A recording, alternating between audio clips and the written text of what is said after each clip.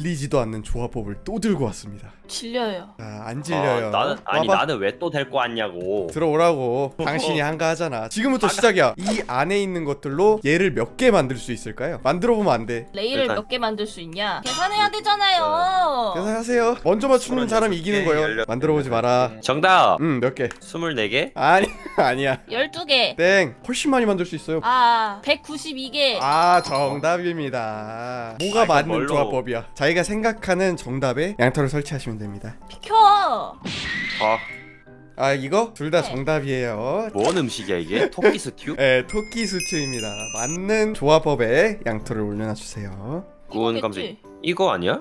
그릇이. 맨 밑에 들어가는 거겠지? 원래 둘다 그거 선택한 거예요? 응. 정답은 셋 다입니다. 다, 다 되지 않아? 네. 다 돼요? 어떻게 놓든 네. 다 돼요. 자 다음 문제. 피스톤입니다. 좀 헷갈리게 돼 있죠? 레드스톤 어디 레드스톤 들어가지? 위치가. 그러니까 이거 둘 중 레드스톤 하나인데. 어디 들어가냐? 헷갈리죠? 잠깐만. 이거다. 야 시간- 믿는다. 믿는다고? 야 믿는다. 아 진짜 믿어? 가자. 정답입니다. 그렇지.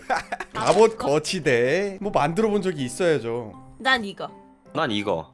다리가 있어야지. 아니 몸통 밑에 팔 다리가 있어야지. 돌발판이잖아. 쿠모의 알겠어. 논리는 뭐야? 이거 밑에 돌발판 있잖아. 아 여기 돌발판이 있어서 여기도 이렇게 있잖아 했다. 돌발판. 그럼 일자로 논리는 뭐야? 쌓아야지. 여기 어 몸통 팔 다리 다 붙어 있잖아요. 자 정답은 구멍이 정답입니다. 나 아, 사실 여기 갈라 그랬어. 다음 문제 여기 문을 안 뚫어놨네. 알아서 아, 오세요. 뭐야, 끝난 거 아니었어요? 네 아니에요. 뭐야? 에이. 세레모니 했는데. 어, 벌써 끝내요. 마지막 문제예요. 이 뭐야 이거? 끈. 끈. 끈. 끈. 끈. 끈. 뭐? 끈. 이거 솔직히 마플도 헷갈릴 것 같은 난이도인데.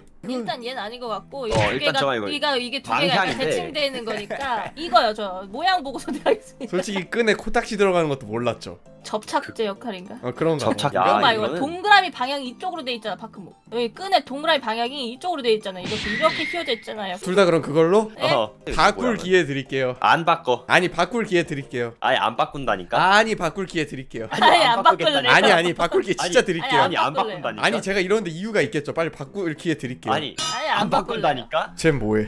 저기 쟤 뭐해요?